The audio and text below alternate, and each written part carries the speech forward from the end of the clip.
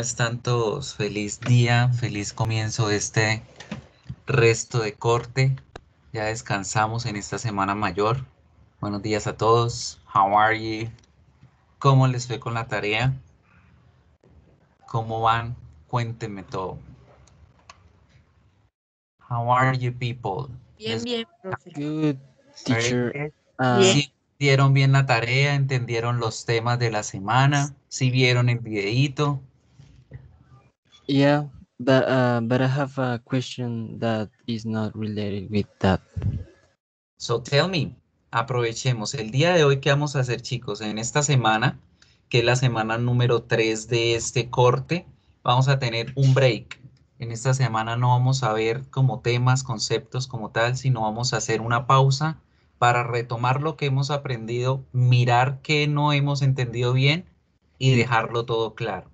Vamos a tener estas dos horas para resolver dudas acerca del proyecto de este segundo corte, para mirar dudas sobre los temas gramaticales que hemos visto. Y les voy a enseñar dos cositas hoy que son importantes que nos pasamos por encima, que fueron los, ad- los adjetivos positivos, el my, your, our, ¿sí?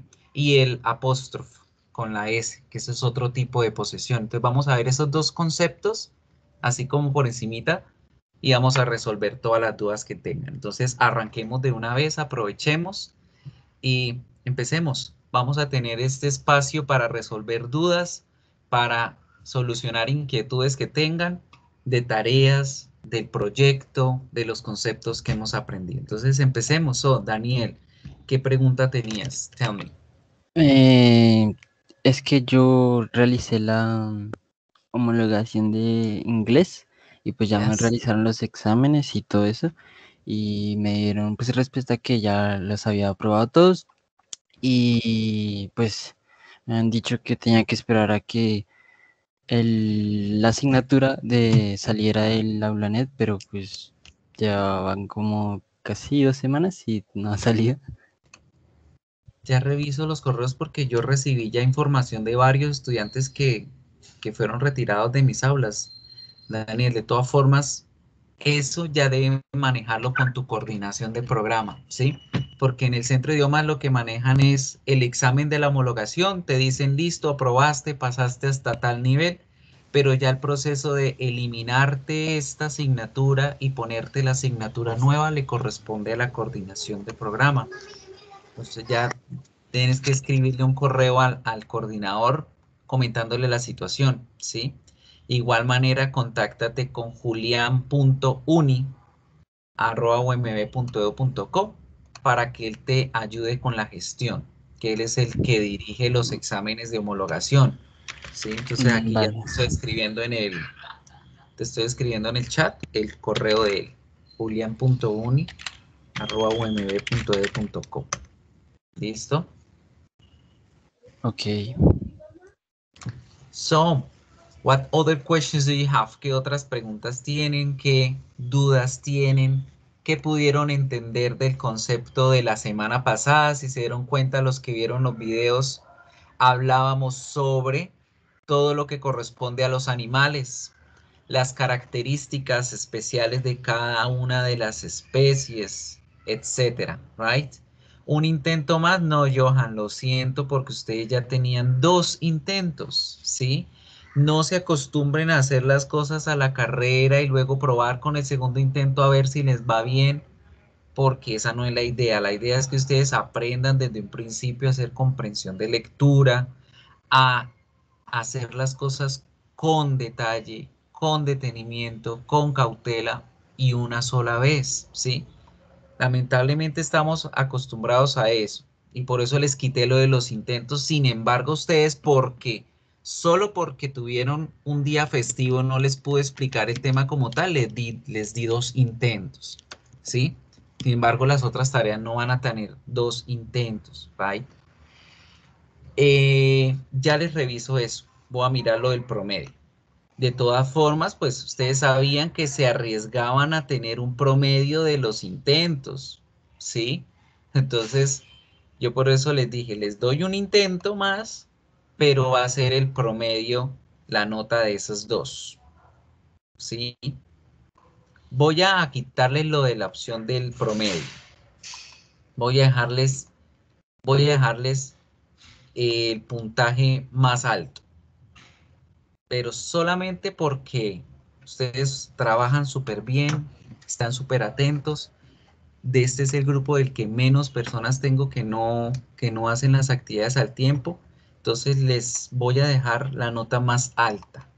Listo, les voy a dejar la nota más alta de esos dos intentos que hayan hecho. Pero no les puedo dar más, más intentos, no más, solo dos y ya. ¿Qué hubo de errores? Los que precisamente les comenté en el video y los que les comenté el día de la tutoría que desarrollamos, ¿sí? el viernes antes de salir a la semana mayor. Siempre los detalles son importantes. Por hoy les hablaba sobre el color de la piel de las patas que todo el mundo decía, no, pero es que decía pata rosada, de una vez me voy a la avestruz, ¿cierto? Pero no escuchaban que hablaban de las plumas marrones y las avestruces no las tienen marrones, las tienen blancas y negras y ahí era una discordancia. Entonces es cuestión de prestar atención. ¿Listo? Stephanie, durante todas las semanas pasadas he dicho que ¿quién me colabora? ¿En dónde ven ustedes la nota de Canva, de, inglés? ¿En Canvas o en Aulanet? En, Aulanet hasta que... En Canvas, en la parte de calificaciones. Exacto. ¿Y en Aulanet hasta cuándo pueden ver la nota? Hasta el final del semestre. Recuerden que en Aulanet la nota de inglés solamente la van a ver hasta el final. Entonces no se preocupen si ahorita en ese primer corte ven allá un cero o en el segundo corte ven el cero no hay migración parcial. ¿Por qué? Porque esta asignatura se manejaba virtual 100% antes. Entonces el sistema está diseñado para que la nota migre hasta el final del semestre. Sin embargo, ustedes pueden ir viendo ese progreso en la pestaña calificaciones. ¿Listo? La actividad de los animales queda la nota más alta. Sí, Joan. Acabé de, en este momento, voy a, mostrarles mi pantalla para que ustedes vean que acabé de modificarles esto. Entonces, fíjense bien, dice Gradable Activity Number 2, sin límite de tiempo, intentos múltiples 2, mantener la puntuación más alta. Listo, para que no se preocupen. Si ahorita ustedes ven que la nota era la que todavía tenían, dejen que el sistema se actualice al día de mañana ya pueden ver la nota que es como tal. Si el sistema, como acabé de modificar la opción, puede que no les aparezca inmediatamente la modificación en su nota. Entonces ya esperen a mañana y ya les va a aparecer la nota más alta que hayan tenido de los dos intentos. ¿Listo? So, vamos a seguir mirando por acá. ¿Qué otras preguntas? ¿Qué más tienen? ¿Qué más dudas tienen? Hablando de el proyecto. Recuerden que el proyecto está para entregar en la semana del 19 al 24 de abril. Ya estamos a 5, o sea, ya dentro de dos semanas, tres semanas prácticamente, vamos a ir entregando este proyecto. Recuerden que como ustedes tienen la clase el lunes, pues el proyecto ustedes lo entregan el lunes 19 de abril. Sí, el lunes 19 es la fecha de entrega de este video. Este video está a disposición de ustedes. Ustedes son los dueños de su video. Ustedes mirarán qué me van a entregar. ¿Qué debe haber o qué deben hacer? Deben escoger cualquiera de los temas que vamos a trabajar en la clase. Ya vimos dos. Las vacaciones, dentro del tema de las vacaciones que hablamos. El presente simple con los adverbios de frecuencia, la rutina diaria, ¿sí? Las WH. Entonces, si ustedes quieren escoger el tema de las vacaciones, pues ustedes se inventan cualquier cosa con él. Puede ser que me van a narrar una historia acerca de sus vacaciones favoritas en presente simple, usando los adverbios de frecuencia, las WH. ¿sí? Segundo tema, y es bastante amplio y es muy bueno y se lo recomiendo porque tiene bastante cosas para trabajar y son los animales. Ustedes pueden escoger muchas de las opciones que vieron en ese video que les di. Pueden hablarme sobre una de las clasificaciones de los animales. Entonces, quiere decir, profe, yo quiero hablar sobre los seres vertebrados. Y me hablan sobre los animales vertebrados, las características que tienen estos animales. Pueden hablar de la subclasificación. pueden hablar sobre un ser mitológico. Profe, yo quiero hablar sobre los animales mitológicos, entonces pueden escoger ese tema y describir físicamente a los seres mitológicos. El día de hoy vamos a hablar, así como si ustedes tuvieran un canal de, en YouTube. Entonces, hoy les quiero presentar a mi animal mitológico favorito, que es la, el, el, ¿qué? A ver, la quimera, el, el pegaso, en la hidra, eh, la medusa, cualquier esos animal, y lo describen físicamente utilizando las estructuras que aprendimos en clase, del orden de los adjetivos, las partes de los cuerpos de los animales, ¿sí? Eh, Camilo Andrés, este video es individual. Este video se va a hablar individual porque es un trabajo de cada quien. Cada quien debe inventarse su libreto, cada quien va a escoger el tema que quiera y va a desarrollarlo entre uno y dos minutos. Menos de un minuto no se acepta, más de dos minutos lo que quieran demorarse, pero mínimo un minuto, máximo dos, para que individualmente puedan desarrollar ese proyecto, ¿sí? Otro tema que pueden hablar dentro de las mascotas, animales que les gusta y que no les gusta, el por qué les gusta, el por qué no les gusta, ¿sí? ¿Qué pueden hablar sobre eh, de este tema? Los idioms, los phrasal verbs que aprendieron en el video y que los encuentran todavía ahí en la cartilla, en el flipbook. Que pueden hablar sobre, hoy les voy a enseñar cómo utilizar frases en inglés. Entonces hablan relacionadas con los animales. Entonces me explican en inglés esas expresiones que aparecen allí. Que all bark no bite todo lo que ladra no muerde, que en, inglés, en español se dice perro que ladra no muerde. Dog eat dog, perro come perro. Eh, the word is your oyster. A little bird told me, un pajarito me contó. Perro viejo no aprende trucos nuevos. Todos esos idioms, todos esos phrasal verbs que vieron dentro de ese material los pueden utilizar para hablar en su proyecto. Entonces, profe, yo quiero hacer cuenta que soy un profesor y que estoy enseñando el tema de los idioms. Lo pueden hacer, ¿sí? La próxima semana ya vamos a tener nuestro tercer eh, tema, que van a ser las citas a ciegas. Entonces, ustedes pueden decir, bueno, me voy a esperar hasta la tercera semana a ver de qué se trata el tema y si me gusta o no, y pueden inventarse el video, ¿sí? Pero debe ser individual. Ustedes van a crear su propio libreto, no necesitan entregármelo, ¿sí?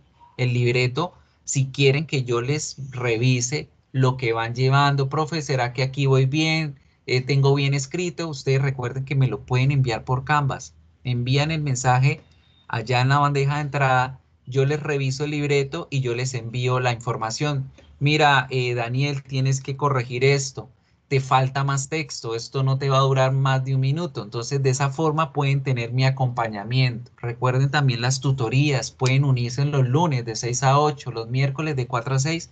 Profe, quiero que me revise el libreto, quiero que me escuche a ver cómo lo estoy pronunciando.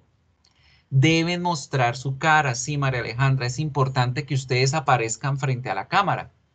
Una ventaja que sí tienen en este segundo corte es que pueden leer pueden tener el libreto. Entonces ustedes pueden, obviamente no van a coger, this is to take into account, attention people for plan apoyar, when something is wrong with the student, you must go to remissions to two weeks. No, ustedes no van a coger el documento y lo van a leer allá literal. Pueden tener la guía, pueden tenerlo así como en un noticiero que ustedes están allí parados y leen un ratico y se expresa.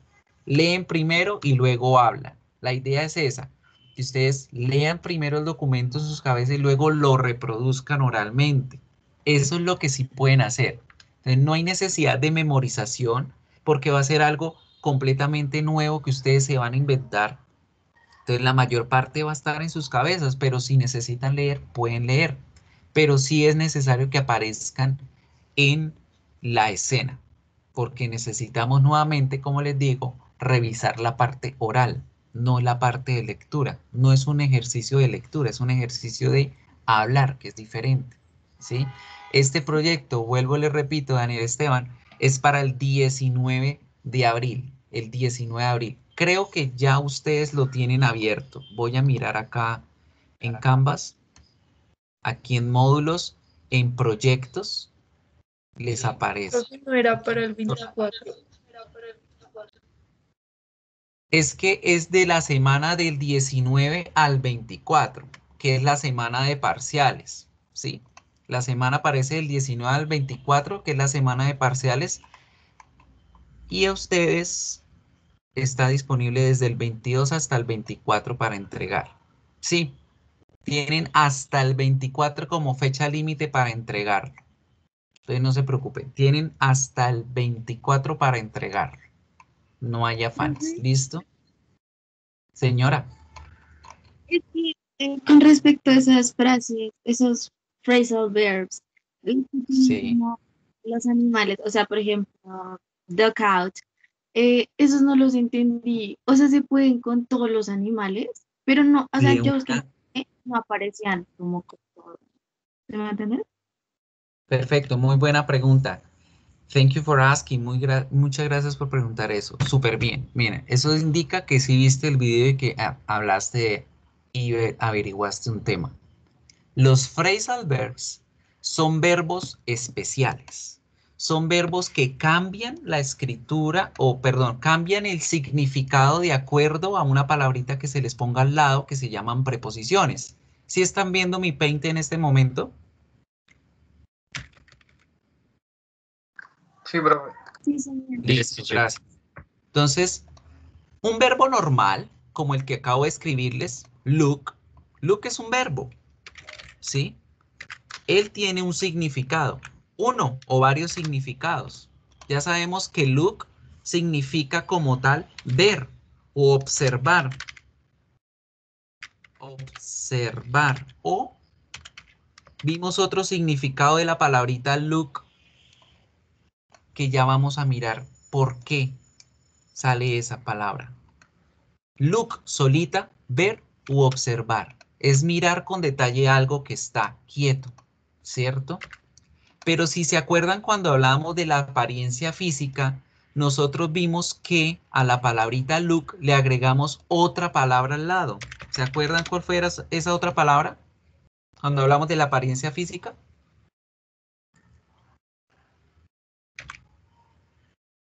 ¿Cuál era esa palabra? A ver, ¿quién se acuerda? Look like. Look like, correcto. Entonces fíjense que ahora el verbo look, si yo le pongo la palabrita like al lado, ya no va a significar ver o observar. Ya esa palabra look ya no va a significar ver observar, sino va- sino que va a tener un nuevo concepto, un nuevo significado y va a llamarse lucir ahora. ¿Sí? Entonces, aquí es cuando nosotros llamamos a eso un verbal, un phrasal verb. Phrasal verb. Un verbo fraseado, un verbo parafraseado. ¿Qué quiere decir eso? Que el verbo va a recibir otro significado de acuerdo a esa palabrita que se le añade de más. Y esas palabritas que nosotros añadimos de más, las vamos a llamar preposiciones. Entonces, cada vez que ustedes vean que un verbo tiene al lado una preposición, ese verbo va a tener un significado diferente. Entonces, para el verbo look, tengo varias preposiciones. Por ejemplo, look up, tengo look at, tengo look after, tengo look for y tengo look like, por ejemplo. Con cada una de esas preposiciones, ese verbo va a tener diferentes significados. Entonces vamos a mirar. Con look up significa observar en un texto.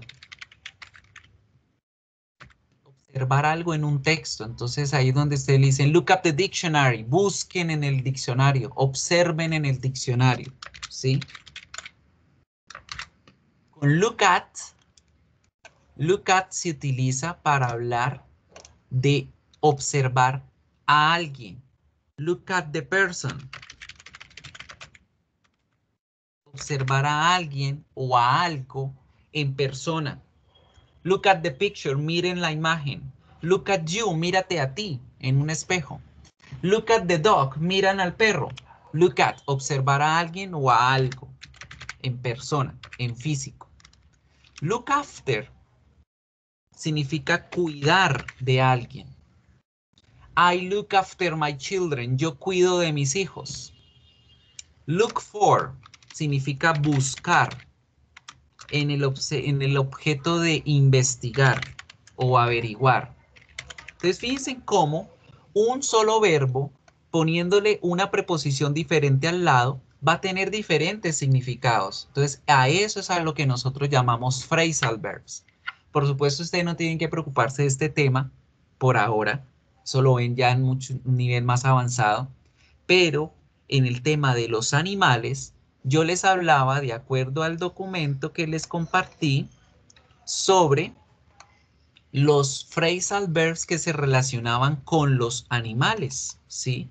Entonces, hay varias, hay varios verbos que se crean a partir del nombre de, una, de un animal que nosotros conocemos. Entonces, aquí en, el, en, el, en la semana 2, en el flipbook que teníamos para esa semana y en el material que teníamos para trabajar en esa semana, yo les dejé varios phrasal verbs relacionados con animales. Entonces, como la compañera hablaba ese de duck out, ¿sí? Fíjense que hay muchos nombres de animales que se van a convertir en verbos en inglés.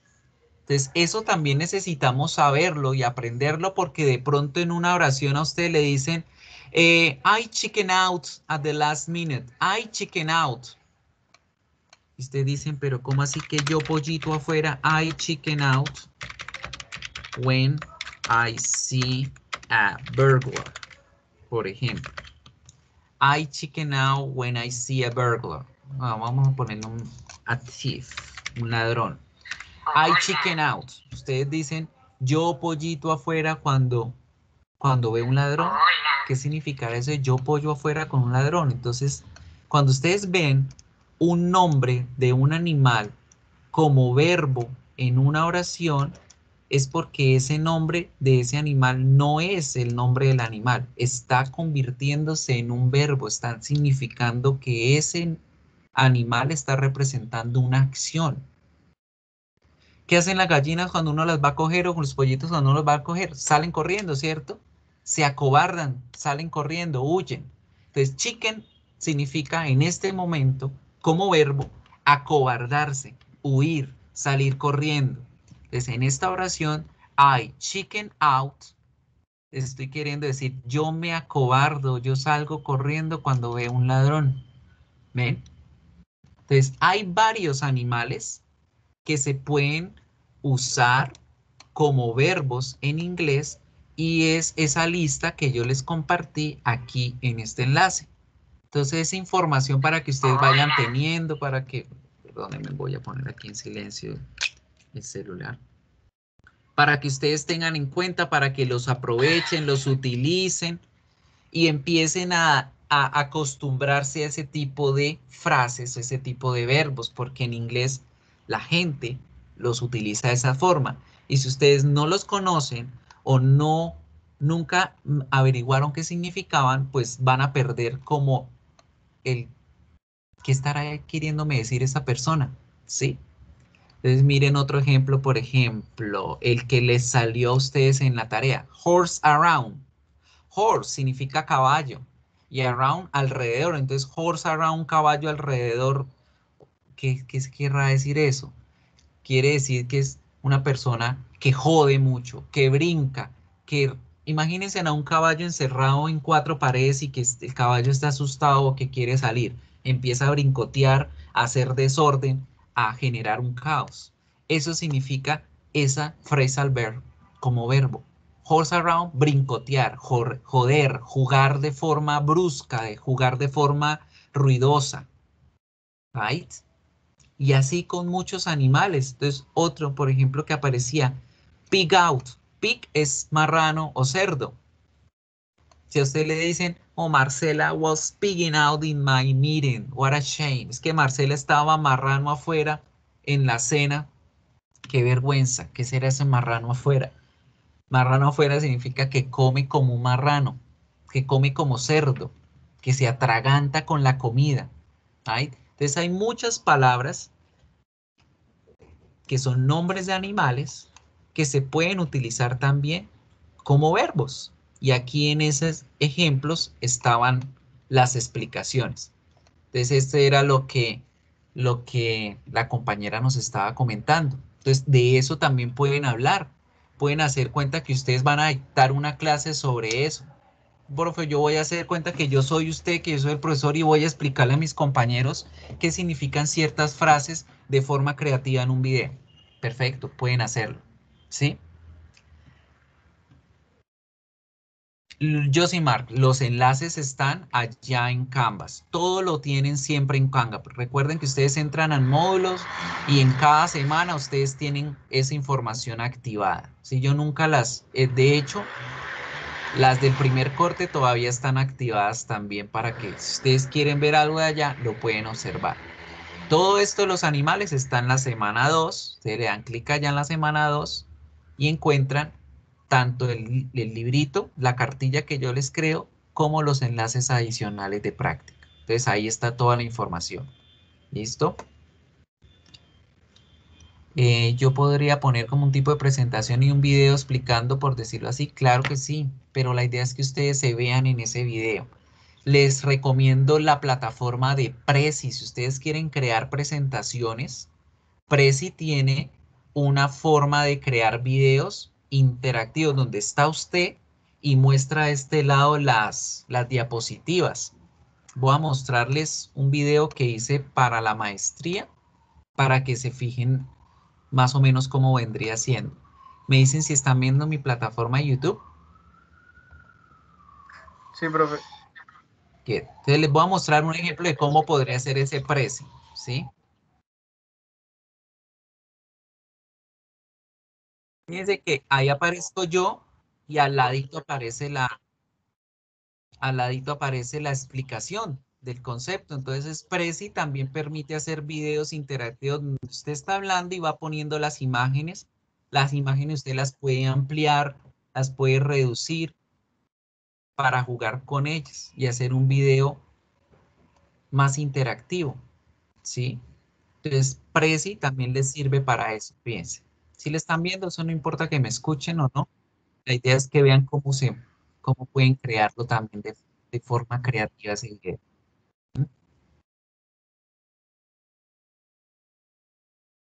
Entonces, esa es una de las formas que pueden hacerlo también. Now, ¿qué más vemos por acá? podría... Dime, Diana, dime lo que yo decía, pues sí, o sea, la explicación, todo bien, pero es que en la actividad aparecía la del gato asustado. Entonces, o sea, si uno lo toma por esos de, por esos phrasal verbs de los animales, pues sería el de chicken out, ¿no? Sí, pero, pero, esa, esa, la del gato asustadizo, yo la expliqué dentro del video de la clase que les envié. Y esa era Scary the Cat. Scary, the Cat. Ahí se la estoy escribiendo en el chat. Que significa literalmente gato asustadizo. Este no es un phrasal verb. Este es un adjetivo que se utiliza en inglés. Si usted quiere decirle a alguien cobarde o miedoso, dígale scary the cat. So you are a scary cat no es un verbo, es un adjetivo, ¿sí? Ah, vale, vale. Listo. Entonces, los videos no necesitan llevar subtítulos. Si se los quieren poner, se los ponen. Recuerden que en este, en este semestre les dije al principio que no eran obligación. Ahí aparecen como un requisito, pero no es obligación este semestre hacerlos, ponerle los subtítulos. Entonces, no se preocupen. So, people, ¿Qué más preguntas tienen? ¿Qué más dudas tienen acerca de todo esto del proyecto, de lo que vieron de temáticas y demás? Cuéntenme.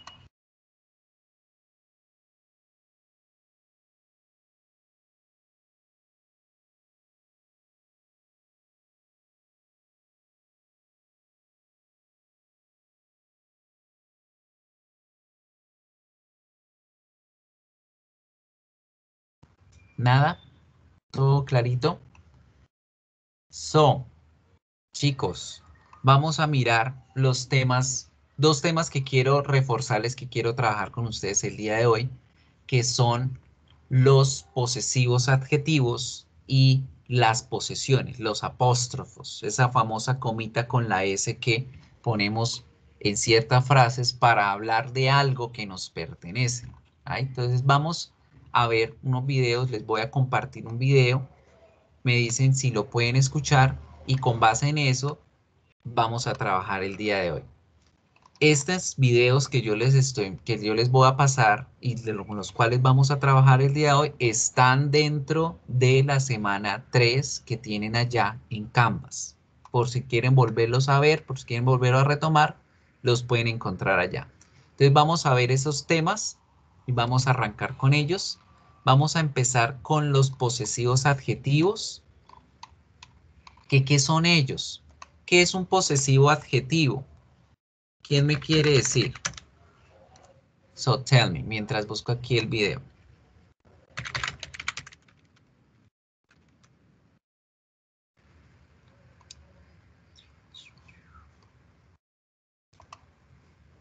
Nobody?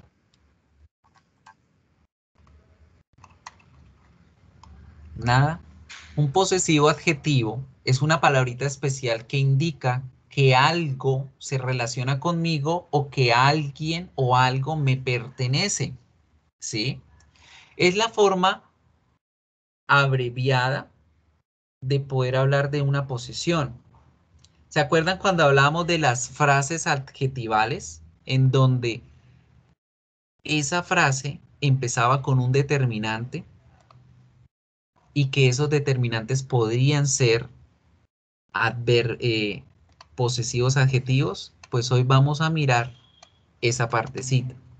Recuerden cuando nosotros hablábamos de las frases, las frases se componen de determinante más uno o varios adjetivos más un nombre, ¿sí? Los determinantes podían ser números o podían ser características, ¿por qué se me está borrando? Ah, listo.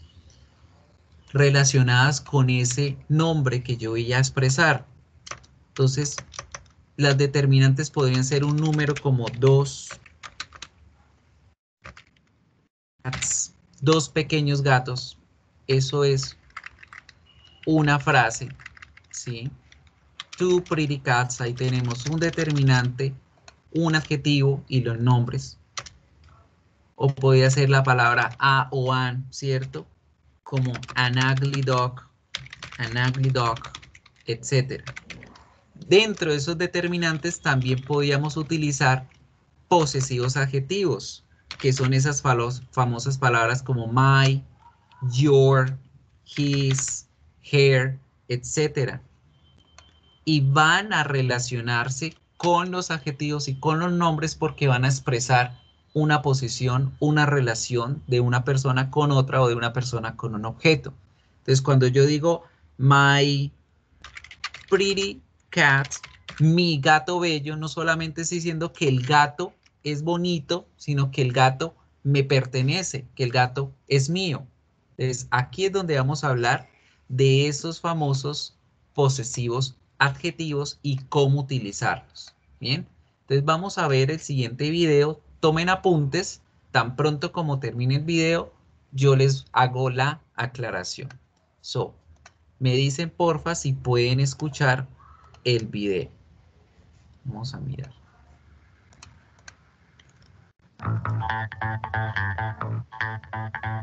¿Sí lo escuchan?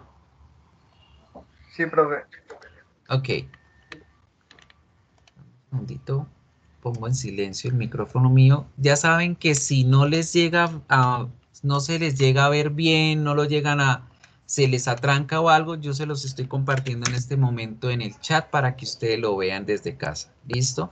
Entonces voy a desactivar mi micrófono para evitar la devolución de sonido y vamos a ver el video.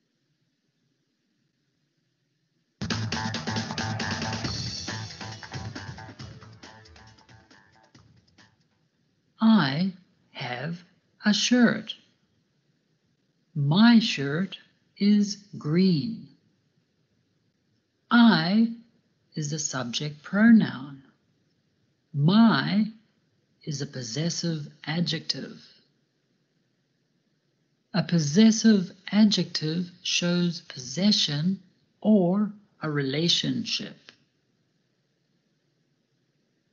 You have a book. Your book is new. It is not my book. No, it is your book. He has a pillow. His pillow is soft. She has a dog. Her dog is small. It has a bone. Its bone is old. We have a bird. Our bird is noisy. You have a house. Your house is big. They have a car. Their car is slow. So, so people, fíjense en cómo esa palabrita que estamos añadiendo no solamente me está hablando de una relación de algo con alguien, una relación de posesión, de que se tiene algo, sino que además, al utilizar esa palabrita posesivo adjetivo, ya no voy a enfocarme en el dueño del objeto o en el que se relaciona con esa persona, sino que voy a describir a ese objeto o a esa persona de la que estoy hablando. Entonces voy a pausar aquí, voy a copiar el, el, los ejemplos en el Paint y vamos a observar el Paint.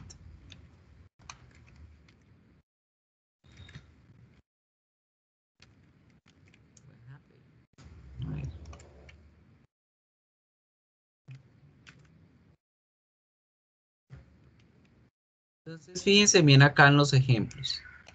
En el primero dice, yo tengo una camiseta. I have a shirt. Ahí que estoy diciendo. Aquí me estoy enfocando en que esta persona tiene o se relaciona con esta que está acá. Aquí en este caso estoy hablando del verbo tener, de una posesión. Yo tengo, yo poseo esa camiseta. Cuando yo utilizo el my, yo estoy hablando con este my de esta posesión, del hecho de tenerlo y que me pertenece a mí. Pero cuando ustedes ven una oración con esto, con esta palabrita, yo no estoy hablando del dueño, yo estoy hablando del objeto.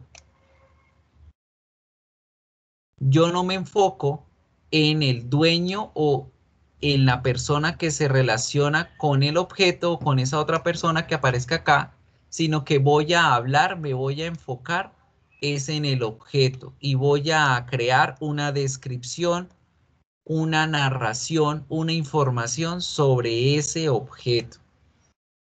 ¿Para qué sirven los posesivos adjetivos? Solamente me sirven para indicar una relación, para indicar una posesión de alguien con algo o de alguien con otra persona, para nada más. Y la oración va a estar enfocada es en este objeto o en esta persona que encuentren acá. Entonces eso es importante reconocer. Los posesivos adjetivos solamente me sirven para indicar una relación, para nada más, para indicar de quién es ese objeto o con quién se relaciona esa persona. Pero cuando nosotros vemos una oración con estos posesivos, yo no estoy hablando sobre la persona, el dueño de ese objeto, de esa persona, esa cosa, sino que voy a hablar del objeto que está al ladito de esa palabra. Right?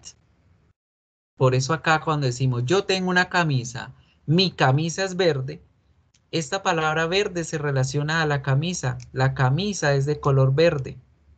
Ese verde no es, no es que esté diciendo que yo soy el verde, sino la camisa. ¿Qué? Lo mismo con este otro ejemplo. Tú tienes un libro. You have a book. Your book is new. Tu libro es nuevo. Este nuevo se relaciona al libro. El libro es el nuevo. ¿Y a quién le pertenece? A usted. Entonces, esas son las dos características que debo tener presentes en una oración cuando utilizo los posesivos adjetivos. Los posesivos adjetivos me indican de quién es o a quién pertenece ese objeto o esa persona a la que estoy hablando. Pero en la oración, la descripción, la descripción de la oración se refiere al objeto que acompaña a ese posesivo adjetivo. Siempre en una oración debo tener esas dos cosas, el posesivo y la posesión el posesivo y el objeto del que estoy hablando o el posesivo y la persona de quien estoy hablando. Siempre. Yo no puedo poner una oración solamente diciendo his. Por ejemplo, acá yo no puedo decir his is soft. His is soft.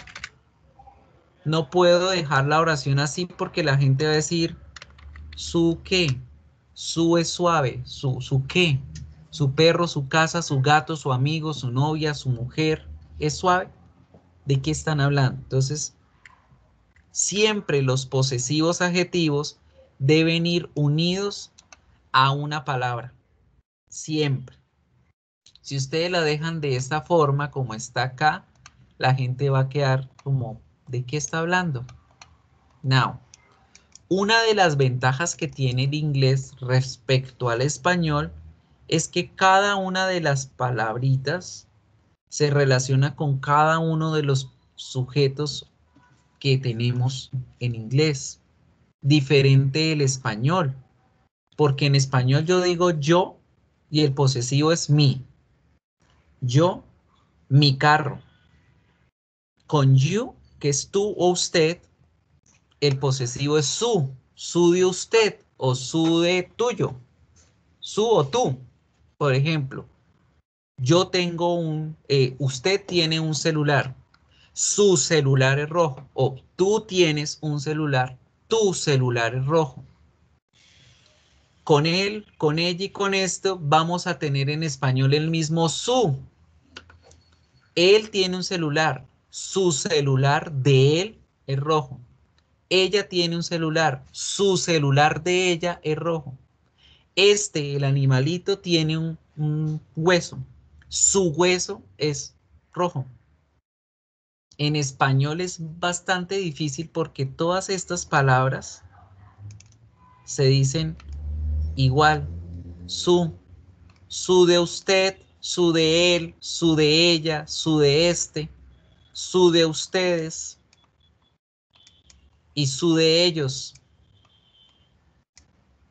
Entonces, fíjense cómo en español es un poco difícil utilizar este, este contexto porque la gente se queda como, ¿su de quién? ¿Sí? ¿Cómo entienden las personas en español este concepto? Por el contexto. Digamos, aquí yo tengo a Gabriel y tengo a Andrés frente a mí. Y yo les dije, chicos, trajeron su cuaderno ellos van a entender cada uno que se refiere al su de cada uno, el su de ella, el su de él. Pero si yo no los tuviera enfrente y digo, háganme el favor y me traen su cuaderno, la gente va a quedar como, ¿cuál? ¿El de quién, profe? ¿El mío, el de ella, el de él, el de nosotros, el de quién? Entonces, por eso en, en español es difícil este tema para las personas que están aprendiendo el español. En inglés para nosotros es muy sencillo aprenderlo porque cada pronombre tiene su propio posesivo. Entonces, para I el posesivo es mine. Para you, your. He, his. She, her. It, its. We, our. You, your. they, their. Cada uno tiene su propio posesivo. Mi, su o tú, su de él, su de ella, su de este, nuestro, su de ustedes y su de ellos. Right? Now, vamos a mirar cómo es que funcionan en una oración. Ya vimos la primera regla. Siempre el posesivo adjetivo debe tener el objeto o la persona de la que yo estoy hablando al lado. Siempre. Entonces, por ejemplo, si yo voy a hablar de mi mamá, yo digo my mother. Debo tener las dos palabritas juntas.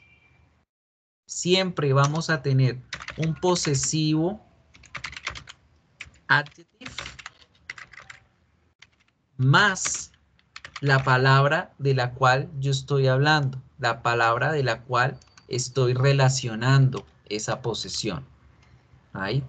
Entonces, esa es una de las primeras reglas. Sí o sí, sí o sí, siempre, siempre, siempre debemos tener ese orden al momento de escribir. Estas palabritas nunca pueden ir solas en una oración. La gente va a quedar como mi qué, mi qué, ¿sí? Su qué, nuestro qué. Ustedes dicen, por ejemplo, acá, our is noisy. Nuestro es ruidoso. Nuestro es ruidoso qué? Nuestro carro, nuestro perro, nuestro gato. Ah, our bird nuestra ave es ruidosa. ¿Sí? Entonces siempre, siempre una de las primeras reglas para utilizar estos posesivos es que al lado de esa palabrita debe ponerse el objeto o la persona de la cual yo estoy hablando. Segunda regla. Fíjense en algo que vamos a ver en el video y ustedes mismos me van a decir cuáles son esas reglas que debemos tener pendientes. ¿Listo? Ya vuelvo a compartirles con sonido el video y vamos a continuar viendo la información.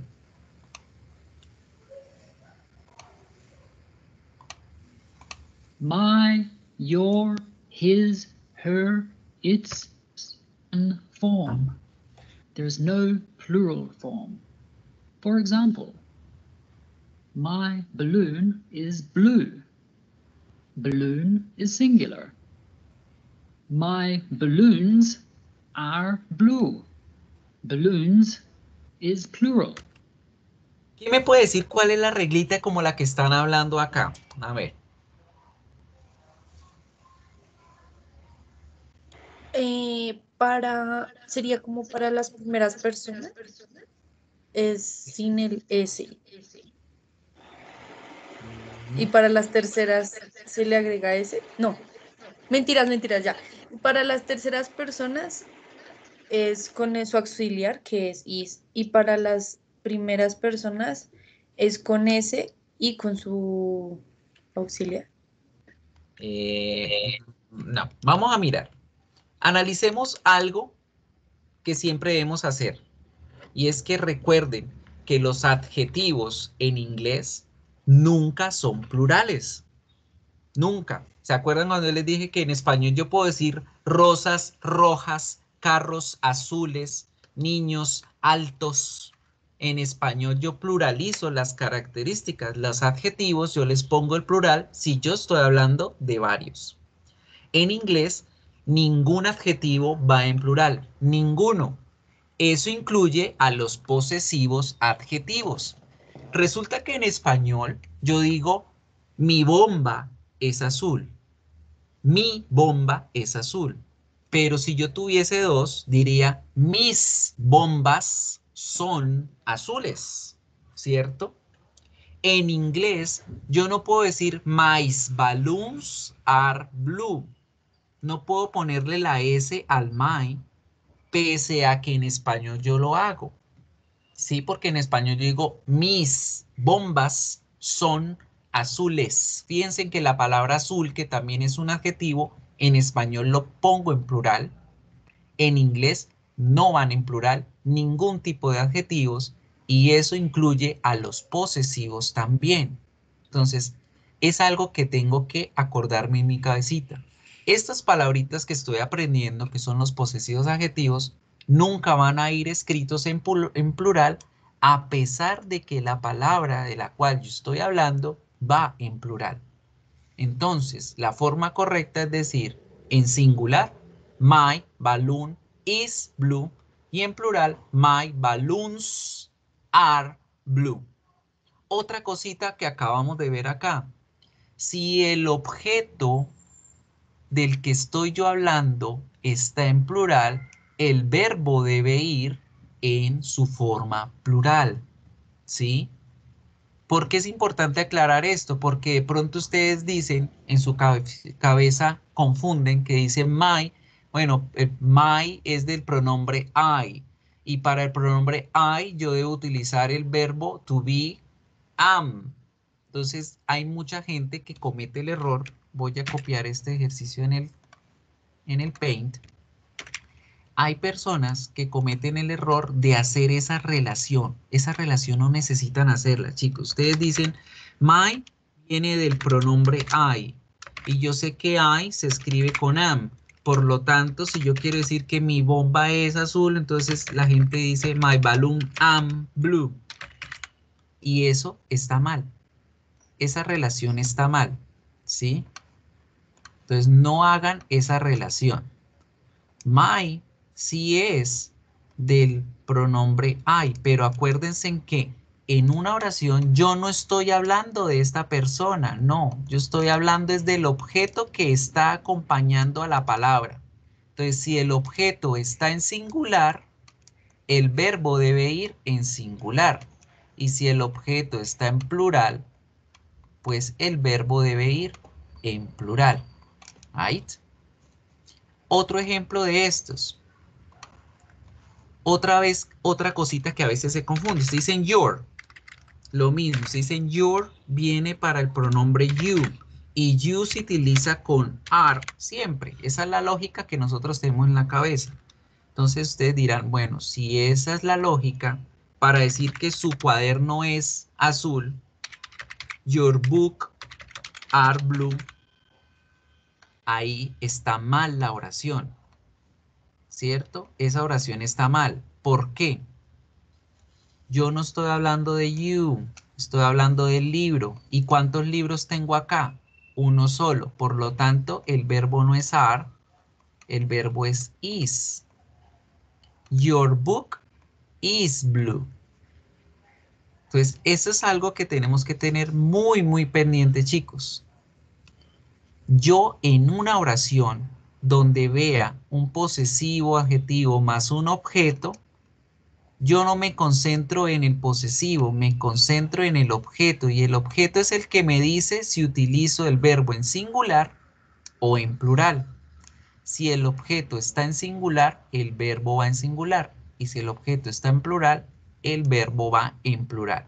¿Sí entendimos? ¿Clear? So. The possessive adjective my does not change. Ese posesivo no lo vamos a cambiar, no le vamos Another a poner eses ni nada de eso. Your balloon is green. Your balloons are green. Both are correct. Again, the possessive adjective your does not change. We cannot say yours balloons. No. We say your balloons. Fíjense, no vamos a decir yours balloons are green porque en español sí lo decimos. En español decimos sus balones, sus globos, sus bombas son verdes. En inglés no pluralizamos la palabrita. ¿Qué? Do not confuse it's with its. Yes, they have the same pronunciation. It's with an apostrophe is a contraction of it is. For example, it's hot today is the same as it is hot today. It's, without an apostrophe, is the possessive adjective for it.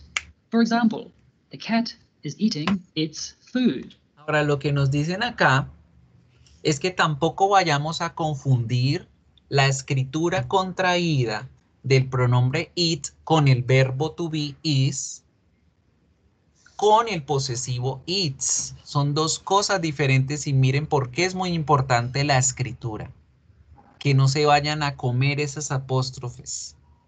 Porque acá en el primer ejemplo están diciendo, it is hot today. Está caluroso el día de hoy. Mientras que en el otro ejemplo están diciendo, the cat is eating its food. El gato se está comiendo su comida, la comida del animal. La comida de ese objeto que es el gato. Its food. Si ustedes llegan a poner aquí, en el primer ejemplo, en el verde, it's sin ese apóstrofe, la gente va a entender su calor hoy. It's hot today. Su calor. Y la gente queda como, ¿cuál calor? ¿Su calor de quién? ¿Del cuál objeto? It's hot today. No tiene sentido. Lo mismo si a ustedes se les da por ponerse un apóstrofe acá, la gente va a entender otra cosa completamente diferente. The cat eating, it is food. El gato está comiendo, esta es comida no tiene sentido, ¿cierto? Estaríamos creando otra oración. Entonces, ojo con la escritura de este posesivo adjetivo. Este posesivo adjetivo no lleva la apóstrofe y no lo vayan a confundir en una escritura, en un texto con el it's contraído, que es la unión del pronombre it con el verbo to be is. Lo mismo nos va a pasar con el pronombre you, el verbo are, no lo vayan a confundir con el posesivo your. Miremos. It is not my food, it is its food. For more details, see our video about your with your. Yes, they have the same pronunciation. Your, with the apostrophe, is a contraction of you are. For example, you're intelligent is the same as you are intelligent. Your, without an apostrophe, is the possessive adjective of you. For example, I like your dress. Entonces fíjense que no solamente se van a poder confundir con la escritura, sino con la pronunciación. Estos posesivos se pronuncian igualito que la contracción del verbo to be con el pronombre. Your, your. Profe, ¿cómo hago para entender? El contexto es el que me ayuda a entender de qué estamos hablando. Si ustedes escuchan a alguien decir, you're intelligent, ustedes no van a entender su inteligente, van a entender ustedes son inteligentes o usted es inteligente. Pero si escuchan a alguien decir, I like your dress, no van a entender, me gusta, tú eres vestido. Van a entender, me gusta tu vestido o me gusta su vestido. Right? Entonces, ojo con estos dos pronombres, chicos, junto con el verbo to be, que pueden confundirse con sus posesivos adjetivos respectivos. Entonces, ojo con la escritura. Fíjense muy bien, por eso les digo, cada vez que escriban algo, vuélvanlo a leer para que puedan entender qué es lo que están escribiendo y si encuentran algún error, corregirlo antes de entregar una tarea. ¿Qué? It is not my dress, It is your dress. For more details, see our video about the difference between your and your. Complete the following sentences with the correct possessive adjective. Vamos a hacer este pequeño ejercicio. Tienen tres minutos para leer la oración y encontrar cuál es el posesivo correcto para cada una de esas oraciones. Si están viendo mi Paint en este momento. Sí, profe. ¿Qué? Entonces vamos a hacer esas ocho oraciones. Van a mirar cuál es el posesivo correcto para cada una de esas ocho oraciones. Ya se los voy a escribir yo aquí al frente para que los tengan de referencia. Entonces, I es my. You va a ser your. He es his. She es her. It es its. We es our. Y they es their. Ojo, ¿cómo van a hacer ustedes para identificar cuál es el correcto? Recuerden que deben deben analizar la oración y mirar de quién están hablando para saber cuál va a ser el posesivo correcto que van a utilizar. Miremos el primero y vamos a hacerlo juntos. Dicen, John has a bike. John tiene una cicla. ¿De quién estamos hablando? De John, ¿cierto? Ahora vamos a decir que la cicla de John es rápida. Su cicla es rápida. ¿Cuál es el posesivo que debo poner acá? ¿Quién me dice? He, his, he, His, muy bien. His bike is fast. Su cicla, la de John, su cicla, la de él, es rápida. ¿Listo? Tres minutos para hacer las otras oraciones. Let's do it.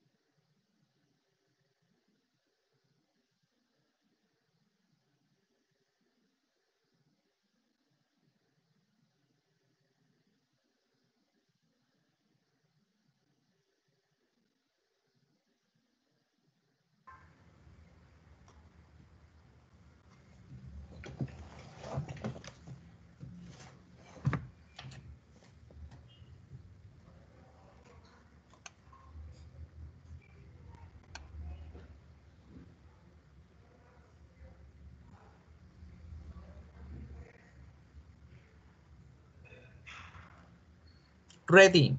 Let's start. A ver, ¿quién me lee la oración completa number two? yo, profe, ¿puedo? Tell me. I have a dictionary. Yes. My dictionary is all. Perfect. My dictionary is all. ¿De quién estoy hablando? Estoy hablando del diccionario. El diccionario es el viejo. ¿Y qué dice esta palabrita que acabo de poner? Que es mío, que me pertenece. Es lo único que me explica el posesivo adjetivo. Number three. ¿Quién me la dice? Eh, yo, Dame. you have an alarm clock. Ajá. Entonces sería Your alarm clock is nice. Nice, ¿no? Noisy. Very good. Noisy. Nice.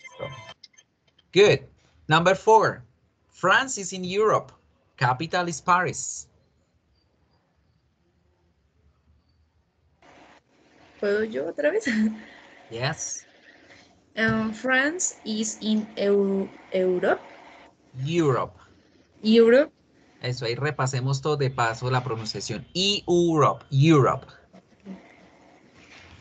Its capital is Paris. Very good. It's. ¿Por qué it's? Porque estamos hablando de un país, ¿cierto? Francia, una ciudad. Francia está en Europa, perdón, país. Su capital es París, la ciudad. Its capital is Paris. Very good. Brian and Mary like new teacher.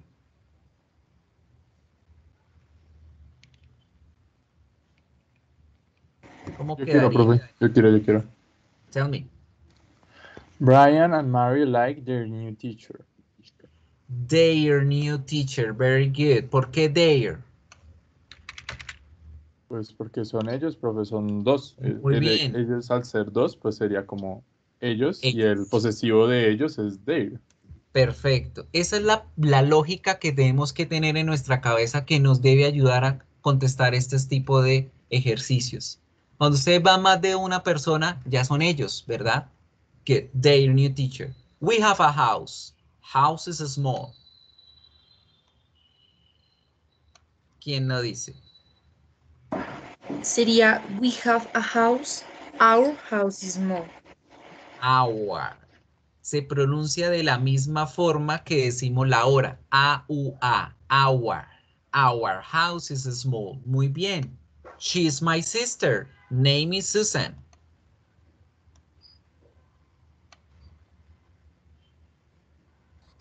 She is my sister. Her Ajá. name is Susan. Her name is Susan. Very good. And finally, you and Mike have friends. Friends are nice.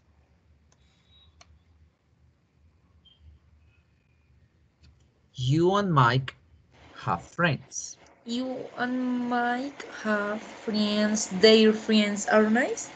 Ah, ah, ah. Oh, Analízala our, bien. Our friends are nice. ¿Cómo? Our, our and- or your. Your, muy bien, muy bien. ¿Cómo lo, ¿Cómo lo entendemos en este caso? Te están diciendo tú y Mike, o sea, ustedes. Sus amigos de ustedes son agradables, son chéveres. Entonces es your. Very good. Por eso es your. Muy bien. Very good people. So simple like this. Este es el tema de los posesivos adjetivos que quería recordarles. La idea es que se metan a los enlaces de práctica y ahí aparte del video que encuentran, van a poder encontrar un ejercicio para practicar, ¿sí? Este ejercicio interactivo, ustedes no tienen que escribir, sencillamente seleccionan y ya, seleccionan cuál es el posesivo correcto y al final le dan terminado y ahí pueden encontrar muchas actividades más para repasar. Now, let's keep on moving, watching here another topic that is related to this, adjectives. and it's The S. Entonces ya tenemos una forma de hablar de posesiones. Diferente a sencillamente decir el tener, ¿sí? Yo puedo decir yo tengo un carro, yo tengo una piñata, yo tengo un perro, yo tengo una novia, yo tengo un esposo. Y de esa forma estoy hablando de mi persona, teniendo algo, relacionándome con algo, pero cuando yo quiero hablar de ese objeto o de esa otra persona que se relaciona conmigo, ahí es donde utilizo los posesivos adjetivos para referirme a ellos y hablar sobre ellos, no sobre mi persona. Get? Now, relating to that, we have the possessive apóstrofe en S. Tenemos el posesivo del apóstrofe. ¿sí? En español nosotros hablamos de apóstrofo o posesivo enclítico, se llamaría en español. Right? Apóstrofo o posesivo enclítico.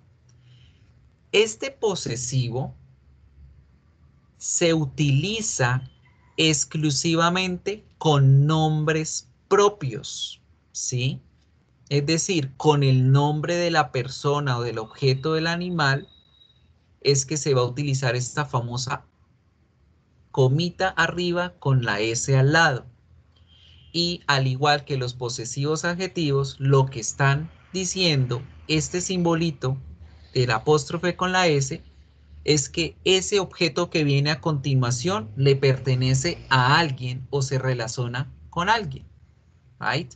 Vamos a mirar cómo es que funciona este símbolo, cómo es que vamos a utilizarlo en las oraciones y cómo lo vamos a trabajar.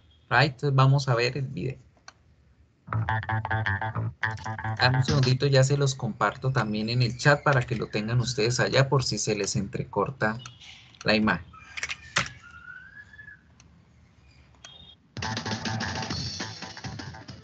Apostrophe S, possessive nouns. Look at these three short sentences. John's tall, John's studied, and John's car. Si están viendo y si están escuchando el video? Sí, profe. Ok, thank you. Entonces miremos estas tres oraciones. Pues realmente, John stole, John studied, John's car. Ahí hay tres mezclas entre oraciones y frases. ¿Cómo saber cuál es una oración? ¿Cómo saber cuál es una frase? Hay que saber identificar el apóstrofe y la S, qué función están haciendo en cada una de estas frases, oraciones, right? La primera, John Stoll, ¿qué es? ¿Es una oración o es una frase? ¿Quién me puede decir? Una frase. Una frase, no, es una oración. Estoy diciendo John es alto. John is tall. John tall. La segunda, ¿qué será? ¿Una oración o una frase?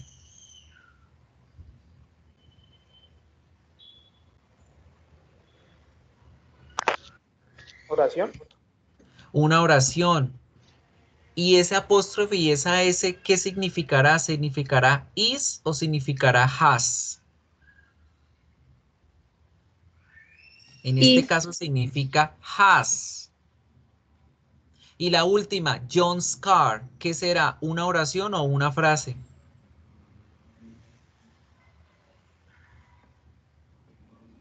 Frase. Es una frase. ¿Y qué está diciendo? El carro de John, John's car. Ahora ustedes dirán, profe, me embolaté. ¿Cómo así? Chicos, con este apóstrofe, con ese, hay que tener mucho cuidado porque bien puede ser la contracción del verbo to be con el sujeto, bien puede ser la contracción del verbo to have con el sujeto, o bien puede ser el apóstrofo es. right? Entonces vamos a analizar cómo poder aprender a identificar estos casos y no confundirnos en las situaciones. Porque miren, la primera, vamos escribiendo, la primera es Jones, Jones, John is tall. En la primera, ese apóstrofe con S está sirviendo como la contracción del verbo to be con el sujeto. En la segunda, está sirviendo como la contracción del verbo to have en un tiempo que van a estudiar mucho más adelante, ahorita no se afanen por él, que es el presente perfecto, ¿sí? Y en la última, sí está sirviendo como un apóstrofo de posesión. Ahí no hay ninguna, ahí estamos diciendo que el carro belongs, le pertenece a John. Aquí estamos hablando de una posesión. Entonces, esto es lo que vamos a tratar de entender el día de hoy. Cuando utilizamos esto como posesión para indicar una posesión o una relación. Right? Y no confundirlos ni con el verbo to have ni con el verbo to be en tercera persona. Right? Vamos a mirar. What do they have in common? Apart from the name John, of course. They all have an apostrophe S at the end of mm, John. Miramos plus S is followed by an adjective, like in the first example, John's tall. Then the apostrophe S is a contraction of is. John En el otro es el John's presente. John's studied. Past participle is followed by a noun. Is used to show possession. El apóstrofe con la S que me indica posesión o que algo le pertenece a alguien o se relaciona con algo. Este último es el que vamos a aprender a utilizar y el que vamos a aprender a diferenciar de los otros dos anteriores para no confundirnos y no cometer errores cuando creemos oraciones largas, oraciones complejas. Vamos primero a entender cómo utilizar ese apóstrofo con esa S correctamente y cómo luego incluir esta frase dentro de una oración para que quede correctamente escrita. Right? Entonces vamos a mirar qué significa primero esta apóstrofe con esa S. Si se dan cuenta, esa apóstrofe con esa S significa de, que le pertenece a alguien. Right? Ese apóstrofe y esa S reemplazan los, los posesivos adjetivos del my, el your, el his, el her. Reemplaza la palabrita of que decimos siempre en español y está hablando de una posesión. una relación entre una persona con otra o una persona con un objeto. Fíjense que en español nosotros hacemos estas posesiones con la palabrita de. La novia de Pedro, el esposo de María, la casa de Juan, el carro de Marcela. Siempre en español, cuando indicamos posesiones o relaciones, hablamos con la preposición de.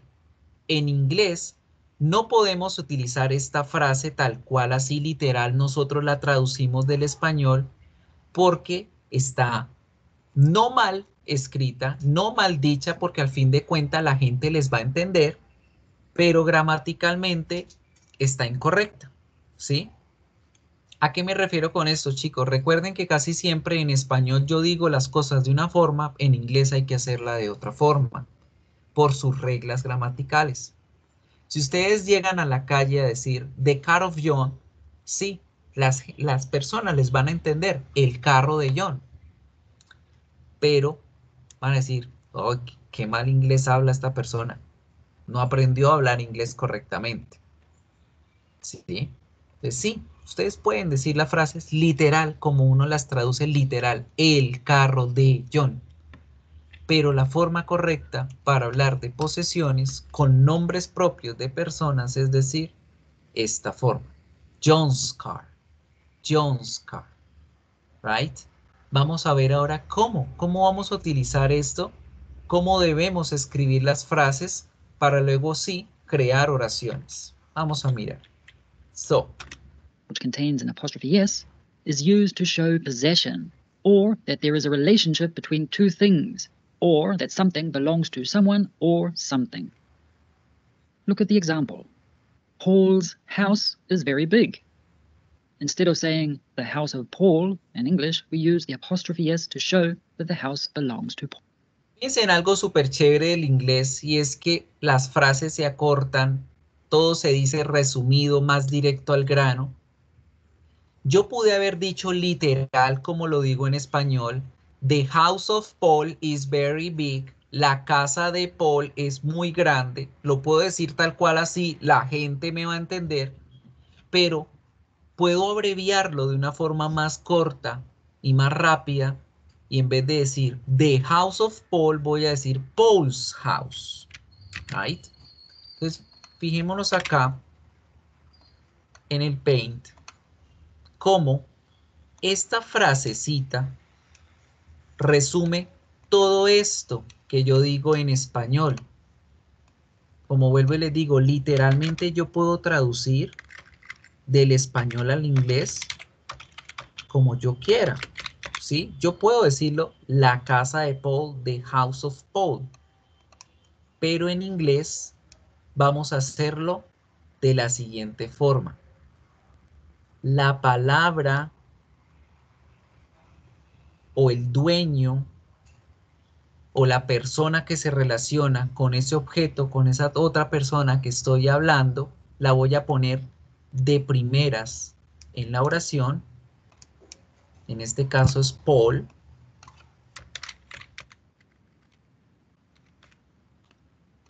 La palabrita de, ese de de pertenencia, de que algo le pertenece a alguien, o que alguien es dueño de algo, va a convertirse en inglés en nuestro famoso apóstrofo y S. Y ya no vamos a decir más nunca en la vida of, sino vamos a poner ese, apóstrofe y esa S. Y vamos a crear su sonido pulse. Y al final yo pongo el objeto o la persona con la cual se relaciona la primera persona de la que hablé. Pero sin utilizar el artículo el, la, los o las. Esa es otra diferencia que debo tener en cuenta. Resulta, chicos, que en español yo siempre utilizo la palabra el, la, los, las para todo la casa de Paul, el perro de María, los niños de Marcela. En inglés ese el, la, los, las no se necesita utilizar, por lo tanto no se va a requerir en la frase. Y aquí tenemos, chicos, nuestra frase possessive o nuestra frase posesival. ¿Se acuerdan que ya habíamos hablado de frases adjetivales que tenían adjetivos, características? Ahora hablamos de frases posesivales que hablan de posesiones, de relaciones entre una persona y otra o entre una persona y un objeto, etcétera, etcétera. Ojo a algo importante. Esto siempre va a ser usado cuando hablamos de personas o animales. Los objetos no tienen posesión sobre otros objetos, ¿sí? Las ciudades, las cosas no tienen posesiones sobre otras cosas. Esto solamente funciona y esto solamente se utiliza cuando vamos a hablar de personas o de animales, porque somos los únicos que tenemos posesiones sobre algo. El perrito tiene la posesión sobre su cama, sobre su hueso, sobre su juguete. Entonces sí podemos decir the dog's bone, el hueso del perro.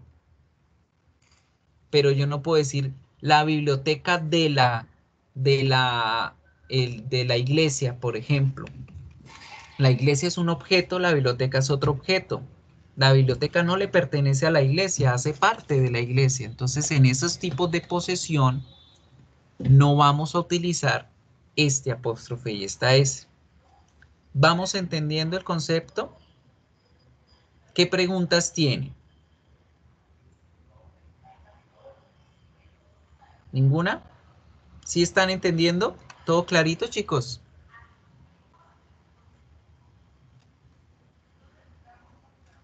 Ese silencio asusta. Sí, Let's continue. Vamos a seguir viendo los ejemplos. Paul's house is very big. So, miren estas oraciones. Where is Julie's book? Do you want to go to Mike's party?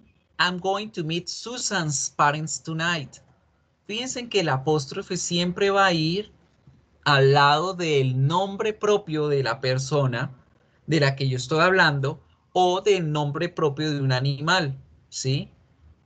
Porque recuerden que solamente estos dos tipos de seres son los que pueden llevar este tipo de posesivo. Nunca vamos a ver el apóstrofe con la S al lado de un pronombre, al lado de un verbo, al lado de un objeto. Siempre van a ir al lado del nombre propio de un animal o de una persona.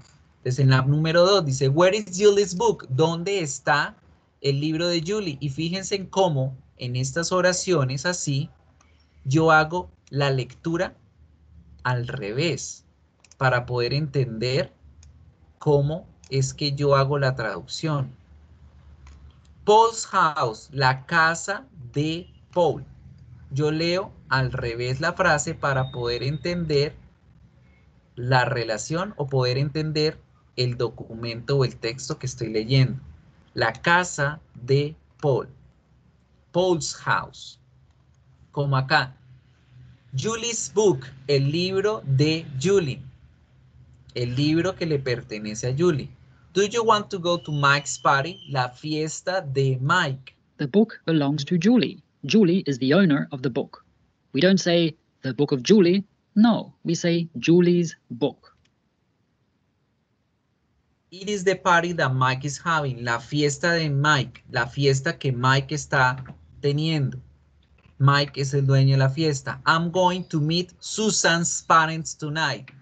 Esta noche los papás de Susan. Yo voy a ver a los papás de Susan esta noche. Right? Los papás de Susan. De esta forma es como yo creo las relaciones entre una persona y otra utilizando los nombres propios en vez de los posesivos adjetivos. Hay ciertas reglas para utilizar este apóstrofo con la S y todo se basa en si la palabra está en singular o la palabra está en plural. Cuando la palabra está en plural, perdón, en singular, sencillamente voy a poner el apóstrofe y la S y voy a crear ese sonido junto con el nombre para decir la oración. Ejemplo, we went to Angel's, house last night.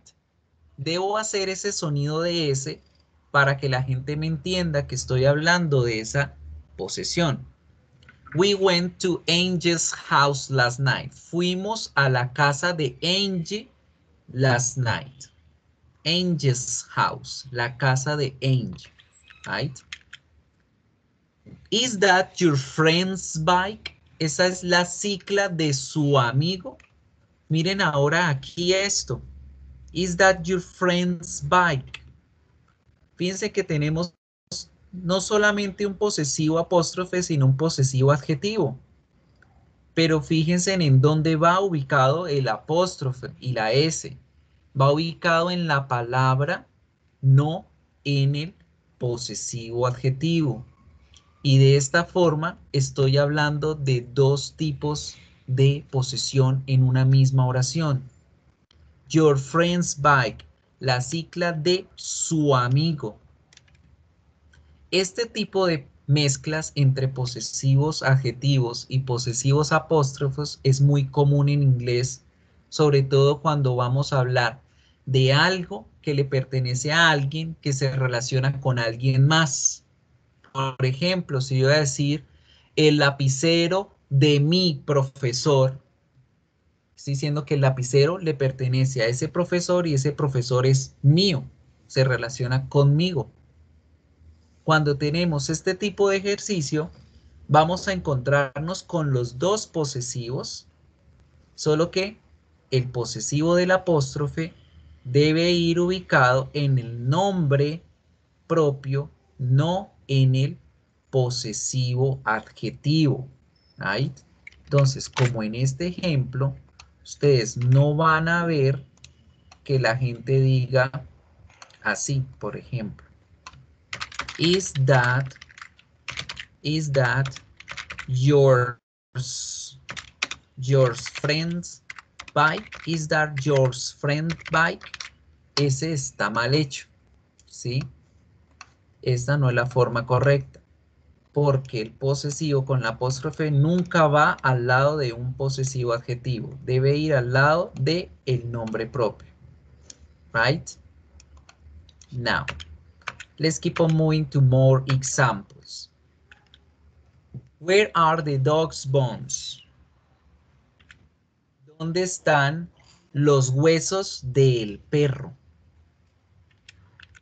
Ahí Fíjense que la palabra dog está en singular y pongo simplemente el apóstrofe con la S y ya estoy creando una relación. Pero ahora vamos a hablar de que los huesos son de dos perros. ¿Qué pasó? ¿Quién me dice ahora cómo es la regla?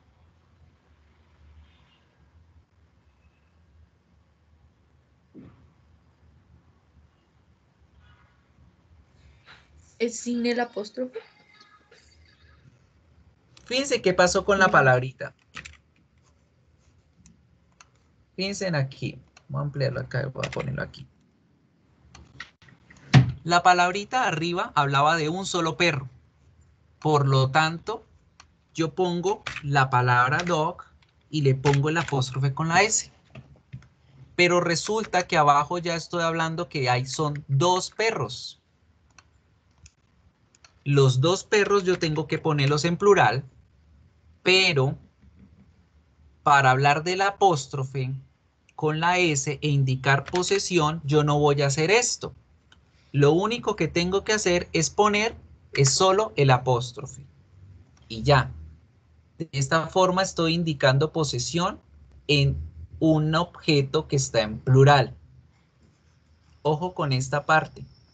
Solamente pongo la, el apóstrofo, no más. No pongo la otra S. Ahora, algo muy importante que hay que hacer acá, la pronunciación. ¿Cómo pronunciaría yo esa primera oración? Where are the dog's bones? Where are the dog's bones? ¿Dónde están los huesos del perro? Uno solito. ¿Cómo se pronunciará ahora para decir dónde están los huesos de los perros? ¿Quién me pronuncia esa oración?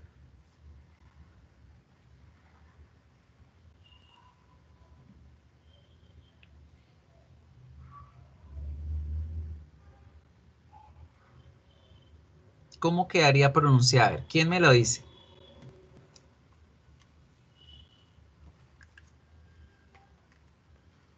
Chicos, a ¿Sería pesar... igual que el de arriba? ¿Sería igual que la de arriba? Es que no, ese sería dogs. Dogs. We are the dogs. bones. Where are the dog's bones? Sí, se pronunciaría igual, pero entonces la gente se va a confundir y va a decir, bueno, ¿es uno solo o son dos perros? ¿Cierto? Porque la pronunciación está igual. Where are the dog's bones? Where are the dog's bones? ¿Cómo hacemos entonces cuando nos encontramos con una palabra en plural y queremos hacerle entender a la gente de que estamos hablando de una posesión, de algo en plural? Chicos, esta apóstrofe se debe pronunciar es para que suene a plural y para que la gente entienda que se trata de varios, en este caso perros, de varios perros. Entonces, ¿cómo quedaría la pronunciación? Where are the dog's bones? The dog's bones. ¿Sí encuentran la diferencia? Número uno, where are the dog's bones? Where are the dog's bones? Num- Number two, where are the dog's bones? Where are the dog's bones? Esa apóstrofe tiene que obligatoriamente pronunciarse de esta forma para que la gente entienda que estoy hablando de un objeto en plural. ¿Listo? ¿Sí entendimos? Entonces, ojo con esta partecita porque no solamente en escritura vamos a ver una variación, fíjense. Aquí tengo la palabra en plural, le pongo la apóstrofe, no necesito ponerle la otra S, la otra S desaparece en este caso, pero debo pronunciarla es para que la gente me entienda que el objeto es plural. Right? Vamos a hacer otro ejemplo acá. Les voy a poner otro ejemplo. Yo estoy hablando de un Y digo que el carro tiene un parqueadero. Como digo, el, ca el parqueadero del carro es grande. ¿Quién me regala esa oración? El parqueadero del carro es grande.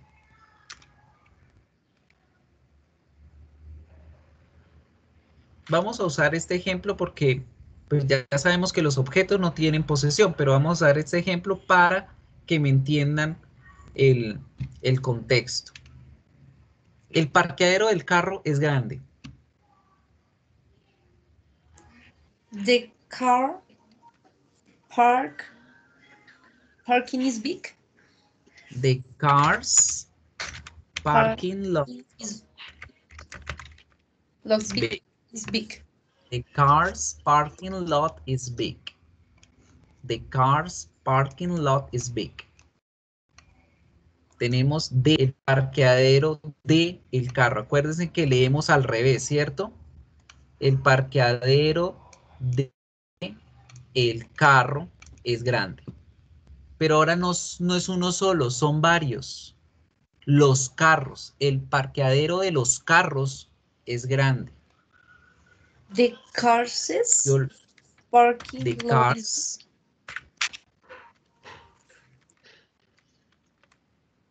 Escribo de esta forma, ¿cierto? Tengo la palabrita en plural, pongo solamente el apóstrofe, pero muy bien como hizo la compañera, estas dos cosas se resumieron en solo el apóstrofe y el apóstrofe lo debo pronunciar ES para que la gente me entienda que estoy hablando de varios carros en este caso.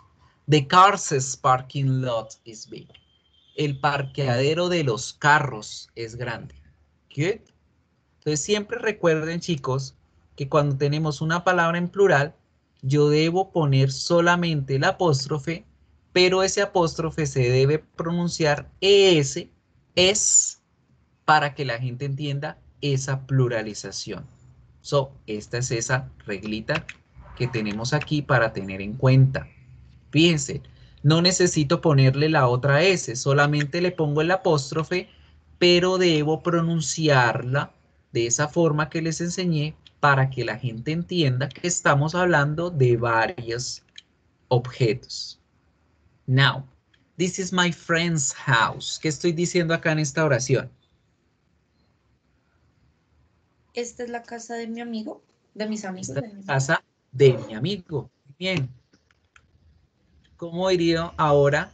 Esta es la casa de mis amigos. ¿Quién me la pronuncia? This is my friend's friend's house. Friends, muy bien. Ojo que friends, no, la I nunca suena. ¿Listo? No vamos a decir friends, sino friend, friend, friends. This is my friend's house. Fíjense bien, solamente pongo el apóstrofe, pero en pronunciación debo hacer es. Friends, friends. This is my friend's house. Esta es la casa de mis amigos. Good. No pongo la S, pero debo pronunciar es para que me entiendan. Now, ¿qué pasa si esas palabras que están en plural terminan en S? ¿Sí? Esa es la regla que acabamos de ver. Solamente le ponemos el apóstrofe y listo. Y la pronunciación va a ir con S. You need your parents' permission. Necesitas el permiso de tus papás, de ambos. Good. Fortunately, the girls' toilet was open. Afortunadamente, el baño de las niñas estaba abierto. The girls', the parents', the dogs'. Good. Ojo con la pronunciación. Good. Now, eso fue en el caso de esas palabras que se pueden poner ese en su plural. Pero hay ciertas palabras que su plural cambia. En esas palabras, sencillamente, vamos a continuar con la regla número uno, ponerle el apóstrofe con la S. Por ejemplo, la palabra niño, child. The child's toys are on the floor. Los juguetes del niño están en el piso. The child's toys. Normal, pongo el apóstrofe con la S. Cuando voy a hablar de su plural, ¿qué pasa? El plural no tiene S, entonces no tengo que cumplir con la regla que acabo de ver, sencillamente pongo el apóstrofe y la S y pronuncio, por supuesto, esa S al momento de decir la oración. The children's toys are on the floor. Los juguetes de los niños están en el piso. Entonces, con esos plurales irregulares que nosotros conocemos como men, women, children, mice, dientes, pies, peces, todas esas palabritas plurales que tienen, que tienen un plural irregular, es decir, que tienen una palabra diferente para decir su plural, nos olvidamos de esa reglita de solo poner el apóstrofe. Debemos poner el apóstrofe y la S y pronunciarlo normal, agregándole el sonido de S. Aquí no hay problemas. Aquí no podemos hacer la pluralización de esas palabras porque esas palabras ya significan plural. Children ya significa plural. No vamos a decir children's. Nunca. ¿Listo? Entonces, para esto debo recordar esas palabritas irregulares en su plural, que son varias que hay que aprendérnoslas de memoria, porque por eso son palabras irregulares. Right? Now, plural nouns not ending in s. Ya acabamos de mirar el ejercicio. Esos plurales que no terminan en, s, solo pues le agrego el apóstrofo y la s y ya, su pronunciación normal.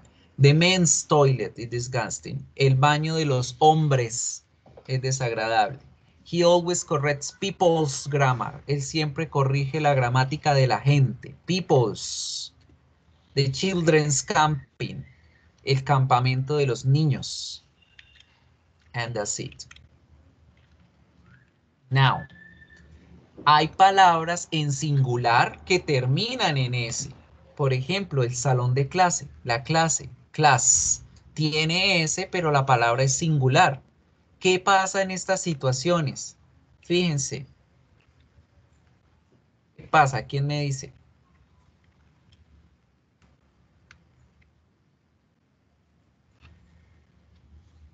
Cuando la palabra es singular y termina en S, sí debo ponerle la otra S, Of the class.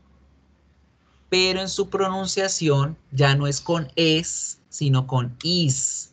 Miren, The Classes Project, el proyecto de la clase. Debo poner la S y esa S debe pronunciarse is. The project classes, the classes project, the classes project. Si la palabra la pluralizo, pues adquiere el sonido del plural y ese sonido es la E, es The Classes Project, The Classes Project, The Classes Project. Pues, ojo con esta parte, chicos, porque en pronunciación es donde es más importante prestarle la atención. Miren la pronunciación de la primera. The Classes Project, The Classes Project. La pronunciación de la segunda. The Classes Project. The Classes Project. The Classes Project. Digo la palabra en plural, classes, y le agrego el sonido es de ese apóstrofe. The Classes Project. ¿Sí lo entendimos? No, No. it is a plural noun that ends in S, so we just add the apostrophe. Yes or no? Now listen to the pronunciation of both sentences again. One, the class's project. Sí, profe, sí, sí, sí, se entendió. O bueno, yo sí entendí. Good. So, people, that's it. Estas son esas reglitas que debemos tener en cuenta cuando utilizamos este tipo de posesivo y se utiliza con nombres propios, exclusivamente con nombres propios. Nunca va a ir el posesivo escrito al lado de un po- posesivo adjetivo como el my, your, his, her, etc. Y siempre van a relacionar a un nombre propio con otra persona, con otro objeto u otra cosa. The class's teacher is nice. La clase del profesor. The princess's dress is pink. El vestido de la princesa. My boss's office is big. El, la oficina de mi jefe. My boss's, etc. Now, another rule. Cuando los nombres de las personas terminan en S, como James, como Andrés, right? ¿Qué debo hacer en este caso? Solamente pongo el apóstrofe, pero ese apóstrofe, vuelvo y les digo, debe llevar el sonido de S. James's dog is hungry. El perro de James está hambriento. O James, James, James's dog is hungry. James's dog is hungry. El perro de James está hambriento. Good. So, both forms are correct. Cualquiera de las dos formas es posible ponerla, pero esta reglita aplica solamente con nombres de personas que terminen en S, como James, como Andrés. ¿Qué otro nombre termina en S? A ver, ¿quién se sabe?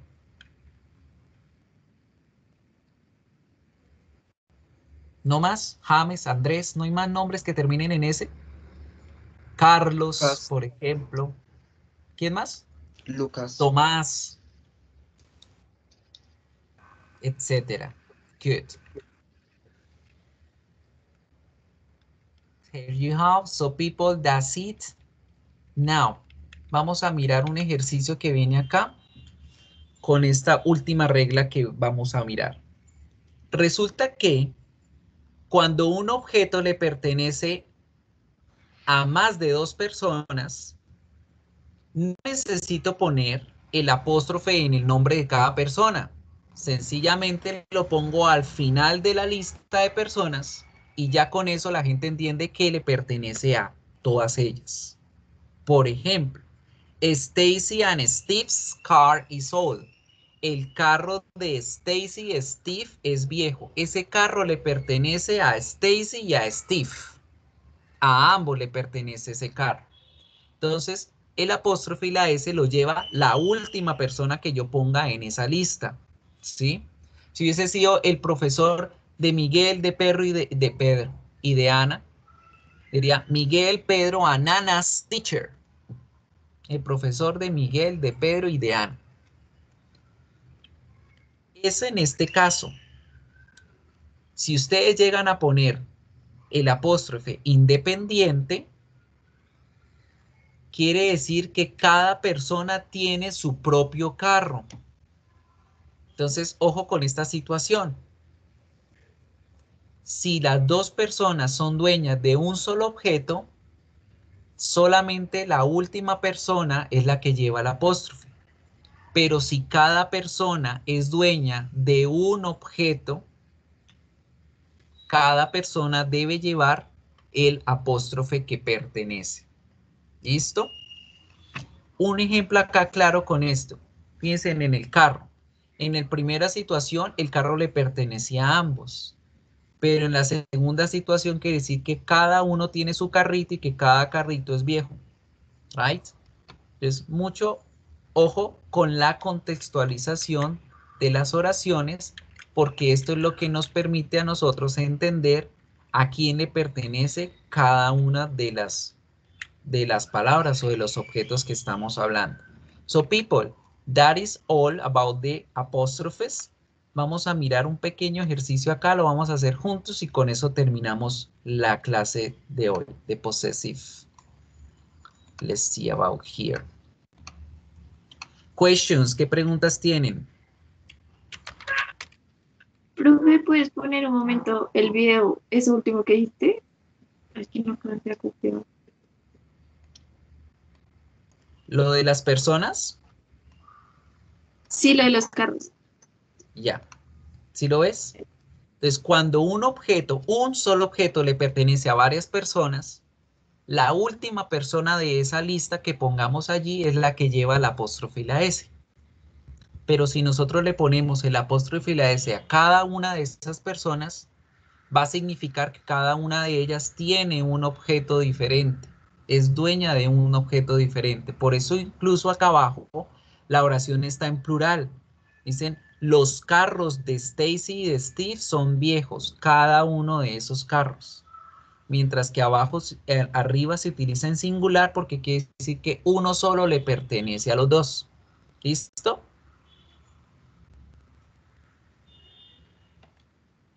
Sí, ya.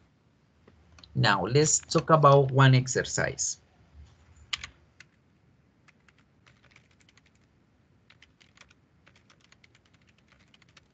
Find now one exercise about the apostrophe S. Vamos a mirar estas oraciones.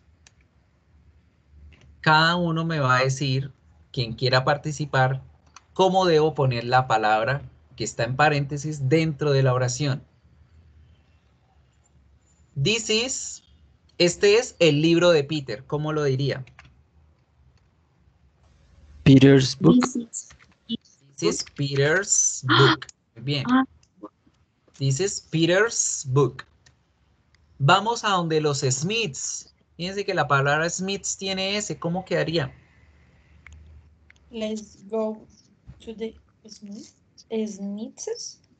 Muy bien. ¿Y qué, qué hago acá? ¿Le pongo la apóstrofe con la S o solo la apóstrofe o qué?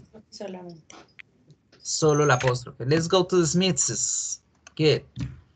El cuarto de los niños está en las escaleras arriba. The children's room is upstairs. The children's children's room is upstairs. Muy bien. La hermana de John tiene 12 añitos. John's sister is 12 years old.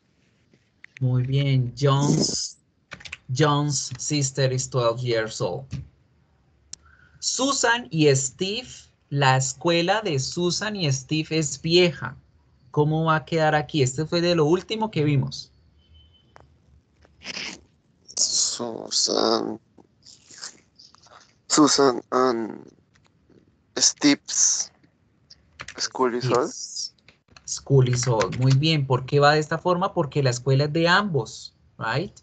Si la escuela fuese diferente y estuviesen hablando de las dos escuelas, las dos personitas deberían llevar el apóstrofe y por supuesto aquí hablaríamos en plural.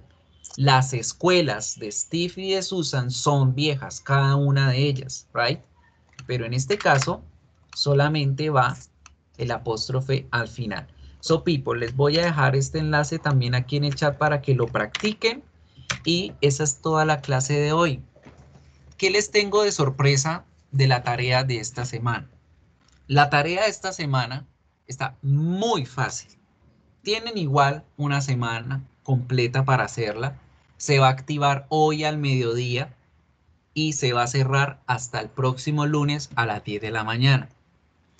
Solamente tienen una pregunta y deben leer muy bien qué es lo que dice esa pregunta para responderla. Es lo único que les voy a decir y van a llevarse la sorpresa. Right? Entonces, por favor, léanse muy bien esa única pregunta que tienen y escojan sabiamente la opción que les aparece. Y van a sacar el 5 asegurado. Right?